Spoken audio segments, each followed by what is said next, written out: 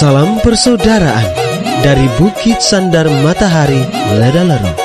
Kami menyapamu semua dalam senandung ucap salam dalam Sang Sabda.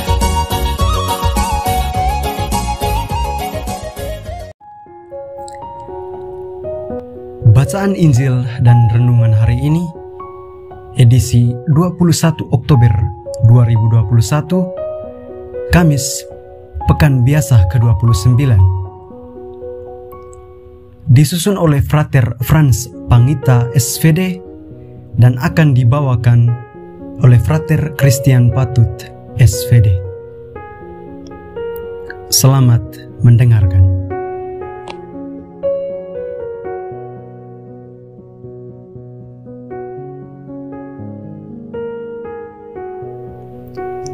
Bacaan diambil dari Injil Lukas bab 12 ayat 49 sampai 53. Pada suatu ketika, Yesus bersabda kepada murid-muridnya,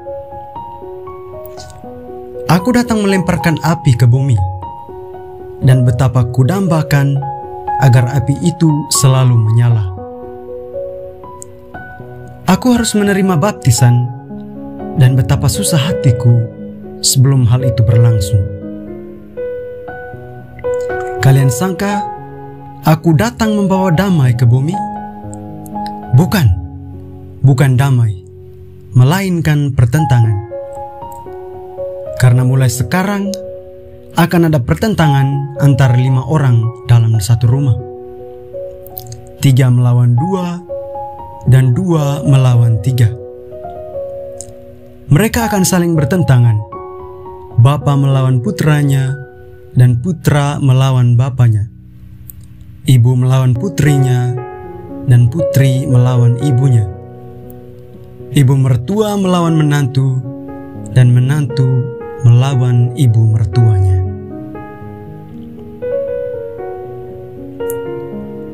Demikianlah Injil Tuhan.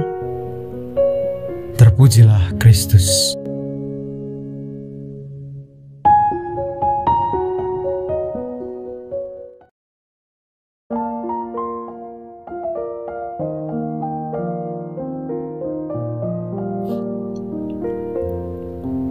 Bapak, Ibu, saudara-saudari, pencinta Sang Sabda yang terkasih.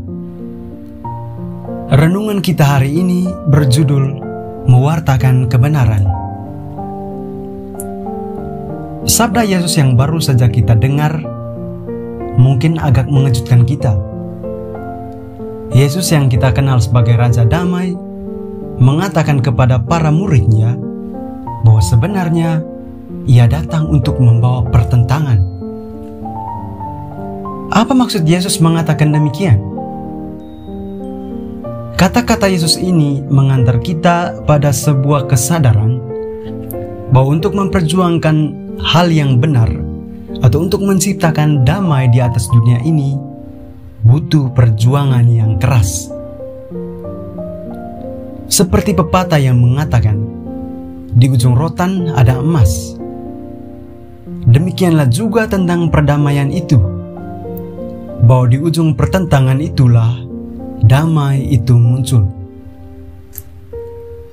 Kita pasti pernah mendengar cerita atau kisah tentang perundingan damai antara dua kelompok yang sedang bercekcok. Sebelum sampai pada tahap perdamaian, tentu kedua kelompok akan berunding, saling beradu argumen, berdebat siapa yang paling benar.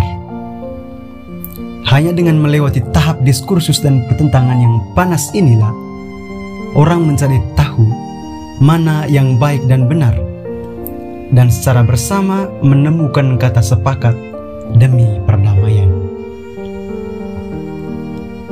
Mencinta Sang Sabda yang terkasih,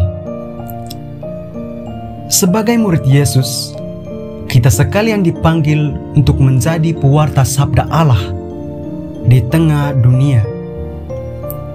Warta Sabda yang kita bawa bukan semata-mata tentang kebaikan, melainkan juga tentang kebenaran Sesuatu yang baik belum tentu benar, dan sesuatu yang benar belum tentu dianggap baik menurut banyak orang. Kecenderungan kita adalah ingin menjadi orang baik. Kita kerap kali memilih prinsip hidup. Lebih baik menjadi orang baik dan tidak menyusahkan banyak orang. Tetapi menjadi orang baik saja kadang meninabobokan kita pada egoisme sempit yang hidup hanya supaya disenangi banyak orang. Ketika melihat banyak hal yang tidak beres di depan kita, kita menjadi bungkam. Mulut kita yang seharusnya bersuara tentang kebenaran, kerap kali kalah di hadapan ambisi agar dianggap baik oleh semua orang. Sabda Yesus hari ini adalah sebuah gugatan bagi kita. Jika Yesus yang adalah Raja Damai Jika Yesus yang adalah Raja Damai saja, atas nama kebenaran tidak pernah gentar di hadapan pertentangan karena pewartaan yang benar, bagaimana dengan kita? Kita sudah seharusnya tidak hanya menjadi pewarta kebaikan, tetapi juga kebenaran seturut nasihat sabda Allah. Mewartakan kebenaran tentu akan menyisakan kontroversi, karena kadang harus membongkar rasa aman orang lain dan juga menggoyang rasa aman kita sebagai pewarta. Sanggupkah kita? Hanya dengan keberanian dan kebijaksanaan yang mengutamakan dialog, kita dimampukan.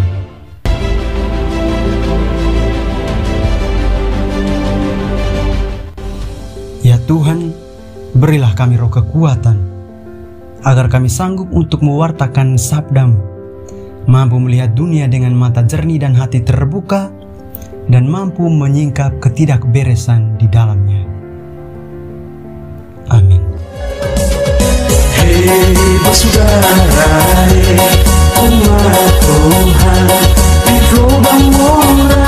Sahabat-sahabat pencinta Sang Sabda, kita baru saja mendengar bacaan Injil dan renungan edisi hari ini. Sampai jumpa kembali pada edisi berikut.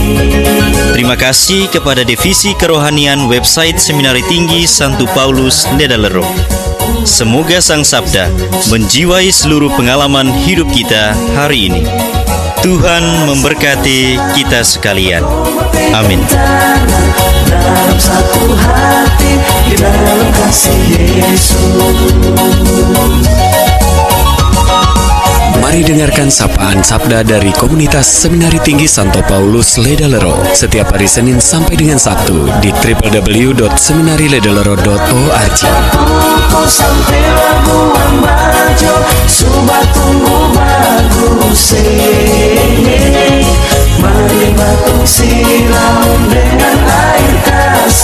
Supaya